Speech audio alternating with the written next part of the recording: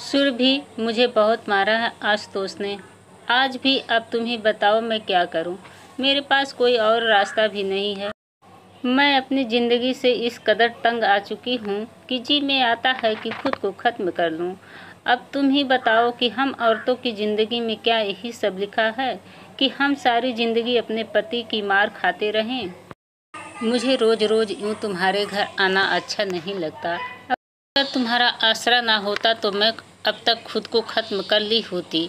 मैंने अपनी बहन अर्चना का हाथ पकड़ लिया था और बोली, खबरदार, जो तूने अपने मुँह से ऐसी बात कही, भगवान ना करें तुम्हारे साथ ऐसा कुछ हो। मैं रवि से बात करूँगी, वो आशुतोष को समझाएँगे। अर्चना मेरे गले लगकर फूट फूट कर रोने लगी। रोते हुए उसने कहा, मुझे तुम्हारे पति से बहुत शर्म आती है। वो भी क्या सोचते होंगे कि ये हर वक्त हमारे घर आई रहती है। नहीं अर्चना, रवि ऐसे नहीं है, वो ऐसा कुछ भी नहीं सोचते हैं। अर्चना, तुम अपने पति से तलाक क्यों नहीं ले लेती? जान छुड़वाओ ऐसे इंसान से। उसने तुम्हें दिया ही क्या? सिवाय मारपीट के। क्या पता भगवान ने तुम्हारे लिए कुछ अच्छा सोच रखा हो? अर्चना बड़ी अजीब निगाहों से मुझे देखा और कहने लगी, सुरभि तलाक लेकर मैं जाऊँगी ही कहाँ? मेरे पास तो कोई ठिकाना भी नहीं है। उसकी बात सुनते ही मैं खामोश हो गई। आखिर वो ठीक ही तो बोल रही थी। अच्छा ठीक है, उठकर मुँह हाथ धो लो। मैं तुम्हारे लिए खाना लगाती हूँ। यही कहकर मैं किचन में खाना निकालने आ गई। मैं खाना निकाल ही रही थी कि अचानक रवि भी घर पर आ गए रवि के आते ही मैंने देखा अर्चना रो रो कर रवि से अपने पति आशुतोष की शिकायत कर रही थी। रवि उसे तसल्लियाँ दे रहे थे। खाना खाने के बाद रवि बाहर चले गए और अर्चना के पति का भी फ़ोन आ गया था।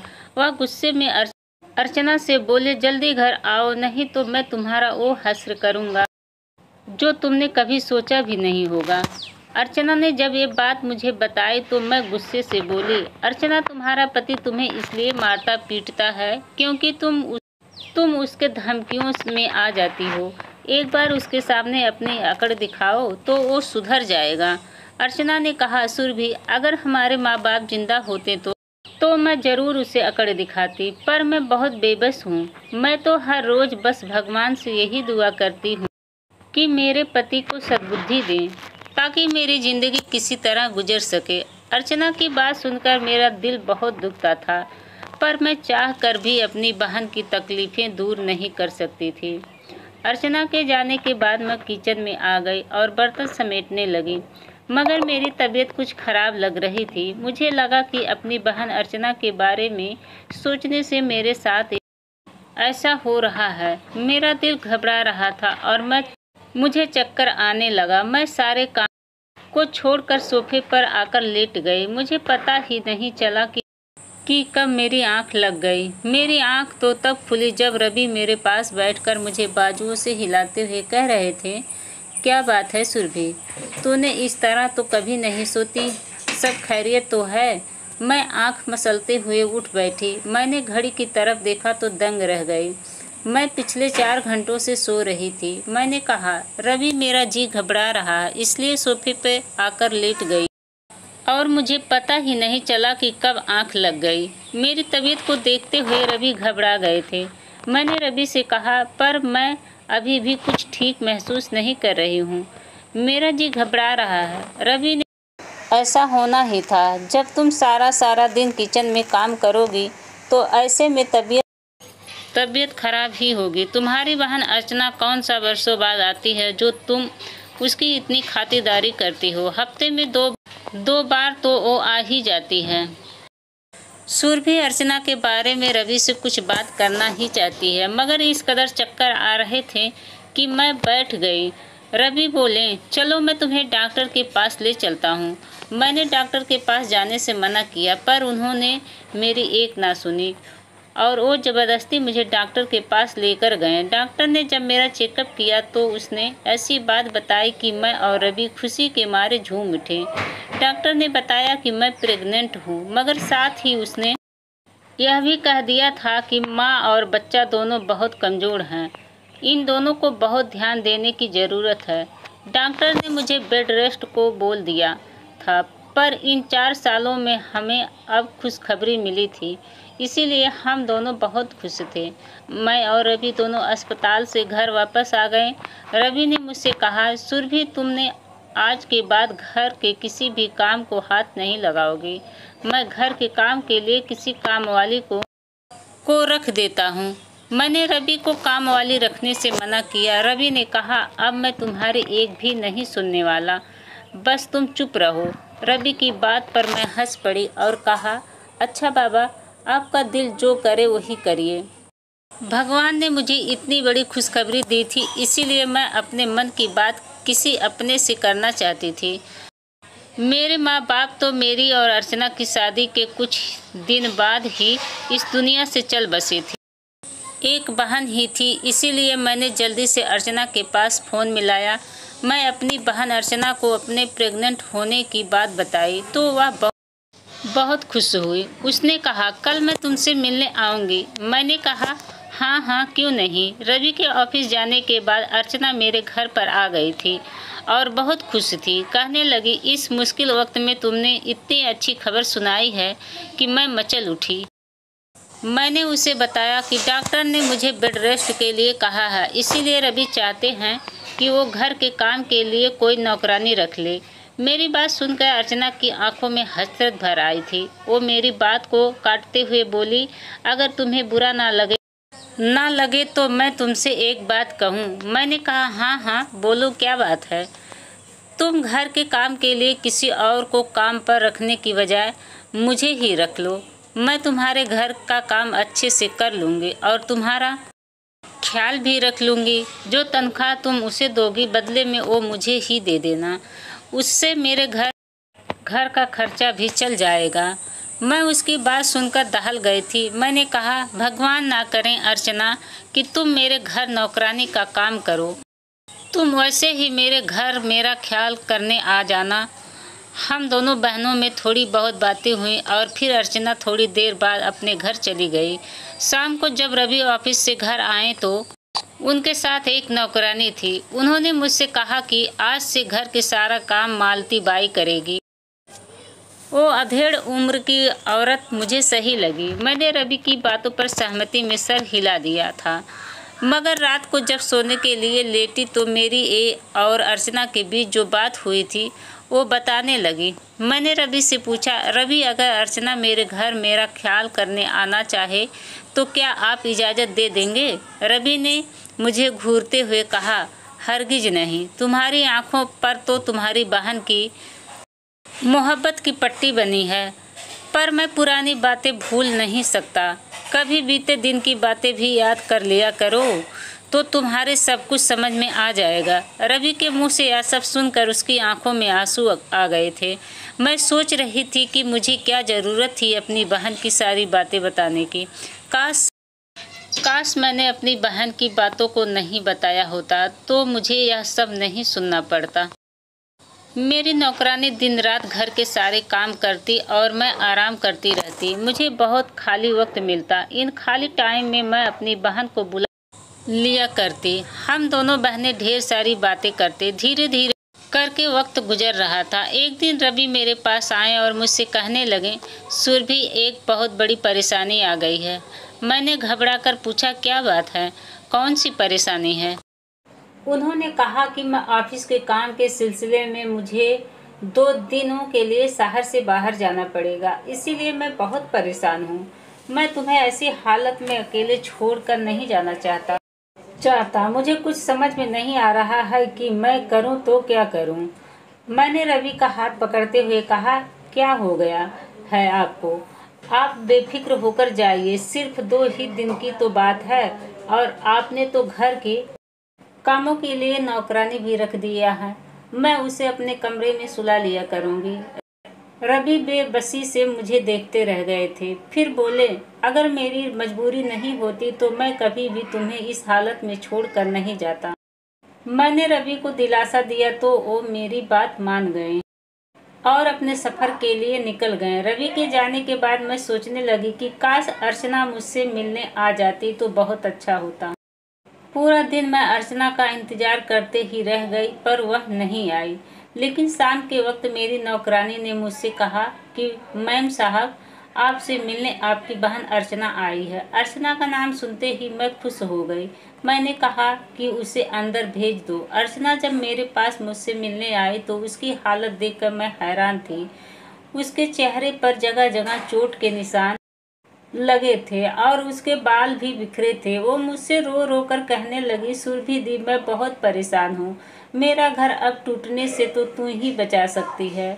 मेरे पति ने आज मुझे बहुत मारा और बोला कि अब मैं तुम्हें छोड़ दूँगा। मैं तुम्हें तलाक दे दूँगा। ऐसे कठिन समय में मैं किस, किसका सहारा लूँ? माँ बाप तो है ही नहीं। इसलिए मैं तुम्हारे पास आ गई कि अब तू ही मेरे पति को समझा। मैंने कहा हाँ हाँ क्यों क्यों नहीं? पर रात होने वाली है, कल चलेंगे। मेरी बात सुनते ही वो रोने लगी। उसने कहा, नहीं, आज ही चलते हैं। क्योंकि आज अगर इसका फैसला नहीं हुआ तो अब मैं उसके साथ नहीं रह सकती। अपनी बहन की हालत देखकर मुझे रहा नहीं गया। मैंने कहा, ठीक है, चलते हैं। मैंने एक ऑटो रिक्शा बुलाया और हम दोनों बहन अर्चना के घर के लिए निकल गए। जब मैं उसके घर पहुँची तो वो मुझे एक कमरे की तरफ़ लेकर गए। उसने कहा, मेरे पति इसी कमरे में है। अब तू ही उन्हें समझा सकती है। मैंने कहा हाँ हाँ तू फ़िक्र मत कर। मुझसे जितना बंद पड़ेगा, मैं कोशिश करूँगी। मैं जैसे ही उस कमरे के दरवाजे के पास गए अर्चना ने धक्का देकर मुझे उस कमरे में ढकेल दिया और दरवाजे की कुंडी बाहर से लगा दी। यह सब देखकर तो मैं हैरान रह गई। अभी मैं कुछ सोच समझ ना सकी थी कि मैंने कुछ ऐसा देखा जिसे देख देख कर मेरे रोगटे खड़े हो गए, क्योंकि कमरे के अंदर मेरे लाल आँखों से आँसू बहते चले जा रहे थे। मैं आज से चार साल पीछे चली गई, क्योंकि चार बरस पहले भी मेरे साथ कुछ ऐसा ही हुआ था। मैं कमरे में बंद थी और रो रो कर अपनी माँ को बुला रही थी। माँ जब कमरे के बाहर आई तो मुझसे कहने लगी सुरभि आज तुमने जो गुनाह किया है, हम लोग कहीं मुँह दिखाने के काबिल नहीं बचे हैं।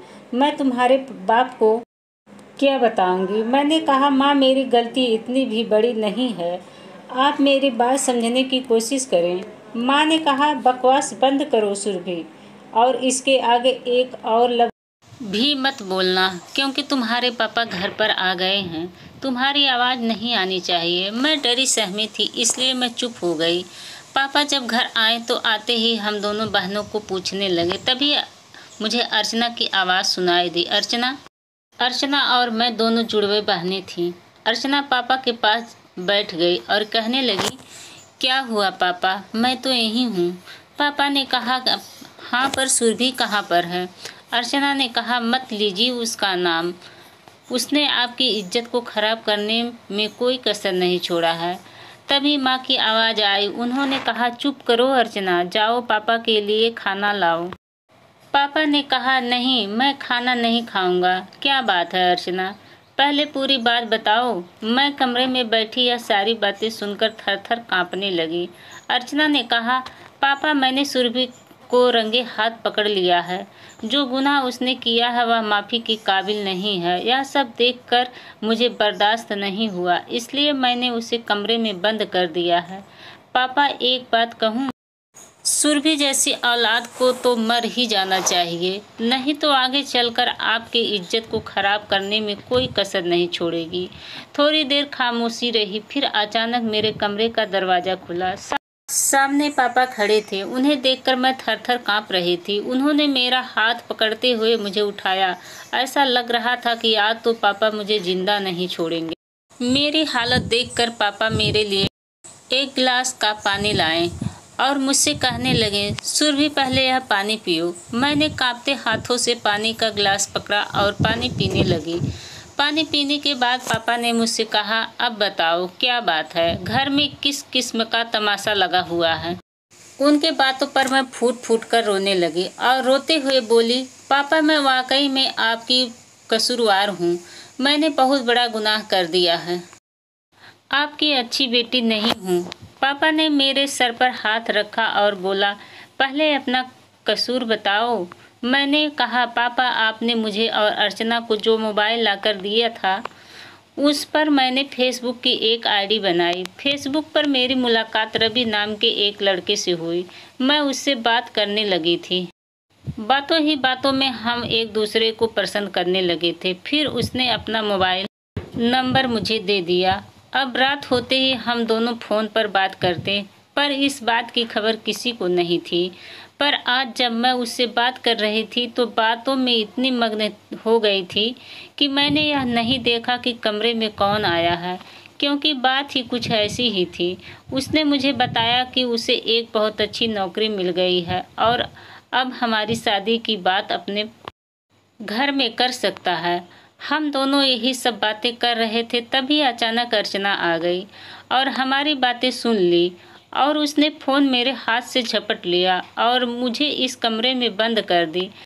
पापा ने कहा सुरभि वैसे तो किसी भी गैर मर्द से इस तरह रात के वक्त बात करना गुनाह है। यह बात तो तुम्हें अच्छी तरीके से पता होगा। मैंने सहमति में अपना सिर हिला दिया था। फिर तुमने ऐसा क्यों किया? मैंने कहा, पापा, मैं बहक गई थी। पापा ने कहा अच्छा ठीक है, मेरी मेरी बात उस लड़के से करवाओ। मैंने कहा, पर फ़ोन तो अर्चना के पास है। पापा ने कहा, ठीक है, जाओ, फ़ोन लेकर आओ। मैं कमरे से बाहर गई और अर्चना से कहा, मुझे मोबाइल दो। अर्चना ने कहा, मुँह तोड़ दूँगी, अगर तुम्हारा, अगर फिर से तुमने मोबाइल का नाम लिया तो मैंने कहा, मोबाइल मैं नहीं, पापा मांग रहे हैं। मेरी बात सुनकर वो दंग रह गई। फिर बड़ी मुश्किल से उसने मोबाइल मेरे हाथ में पकड़ा दिया। मैंने रवि का नंबर मिलाया और बोली, मेरे पापा तुमसे बात करना चाहते हैं। पापा और रवि दोनों एक दूसरे से बात करने लगे। पापा ने कहा, बेटा, मुझे पता चला है कि तुम और सुरभि एक दूसरे को पसंद करते हो। उधर से रवि ने क्या बोला मुझे नहीं समझ में आया। पापा ने फ़ोन रख दिया और मुझसे कहा कि वो लड़का तुमसे शादी करना चाहता है और अगले दो दिनों में उसके घर वाले तुम्हें देखने हमारे घर आने वाले हैं। पापा की की बात सुनकर तो मेरी खुशी का इंतहा ना रही। मैं बहुत खुश थी। पापा मुझे कमरे से बाहर लाएँ और हम साथ बैठकर खाना खाएँ। खाना खाते वक्त पापा ने माँ को भी यही बात बताई कि कल लड़के वाले सुरभि को देखने वाले हैं। पापा की बात सुनकर माँ बहुत खुश हुई, पर मैंने देखा अर्चना के चेहरे की रंगत उड़ गई, वो मुझे घूर रही थी।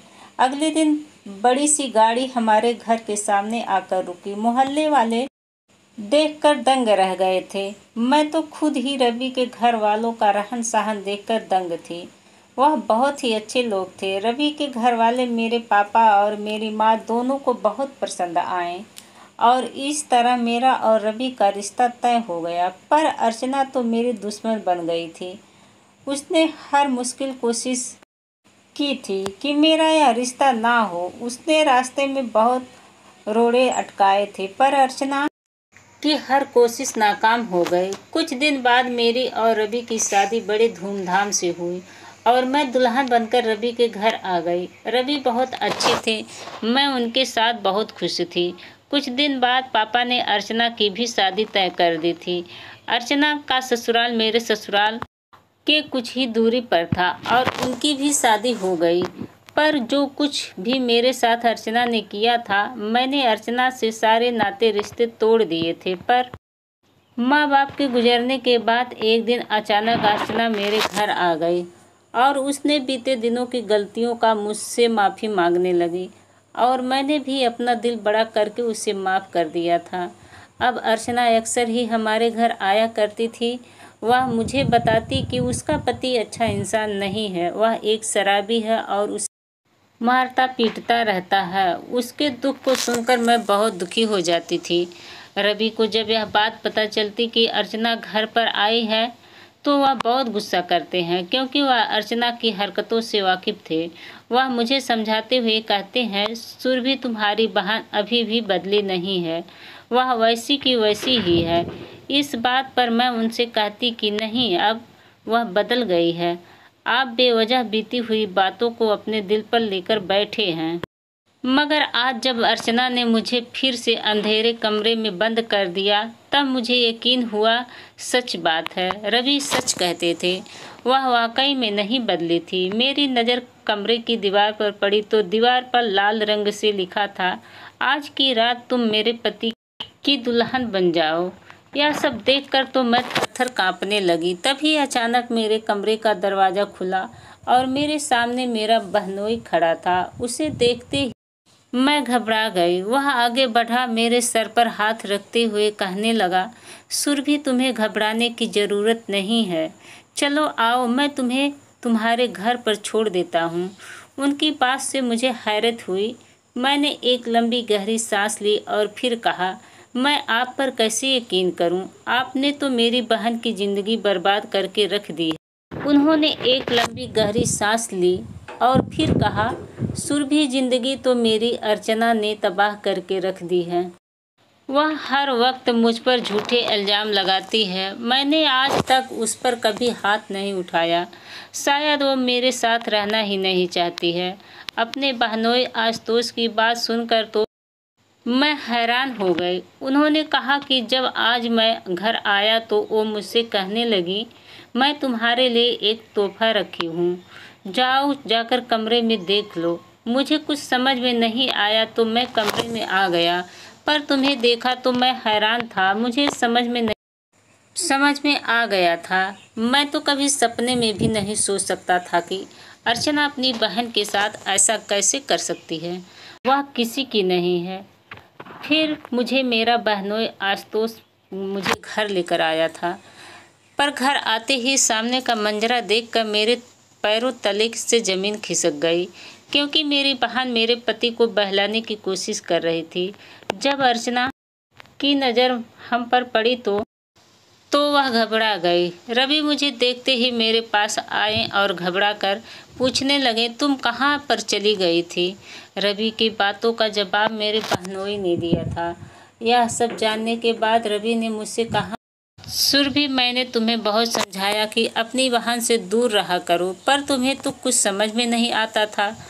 तुम तो बहन के प्यार में पागल थी। सुरभि मैं तुम्हें बताना चाहता था कि क्योंकि मुझे लग रहा था कि क्या पता तुम मेरी बातों पर, पर यकीन करोगी या नहीं करोगी। पर आज बता रहा हूँ तुम्हारी बहन अर्चना जब से मुझसे अकेले मिलती है वो मुझे तुम्हारे खिलाफ भड़काने की कोशिश करती है। पर सुरभि मुझे तुम पर खुद से भी ज़्यादा विश्वास था। और तुम्हें यह लग रहा होगा कि मैं इतना जल्दी वापस कैसे आ? मैं तो दूसरे शहर जा ही रहा था, पर अचानक जिस काम के लिए मैं जा रहा था, वो काम अगले महीने होगा, इसलिए मुझे वहाँ से वापस आना पड़ा। सुरभि तुम्हारी बहन तुमसे नफरत करती है, वह तुम्हें हम, मेरी नज़रों में गिराकर मुझसे शादी करना चाहती है। क्योंकि उसकी नज़र मुझसे ज़्यादा मेरे पैसों पर है। इसलिए आज इसने यह सारा नाटक रचा है। आज अर्चना की सच्चाई सबके सामने आ गई थी। मेरे बहनोई भी आज अर्चना को छोड़कर चले गए थे। उन्होंने कहा था कि अब मैं इसके साथ नहीं रह सकता। मैं इसे तलाक दे दूँगा। अर्चना रोते हुए मेरे कदमों में गिर गई, पर मैं उसकी सच्चाई जान गई थी और मैंने भी उसे अपने घर से निकाल दिया। तो दोस्तों, अपना ही जब अपने को धोखा देता है तो बहुत बुरा लगता है और उसे कभी भी दिल से माफ़ नहीं किया जा सकता है। तो दोस्तों, वीडियो कैसा लगा, कमेंट करके ज़रूर बताना और हाँ वीडियो को लाइक और चैनल को सब्सक्राइब ज़रूर करें। धन्यवाद।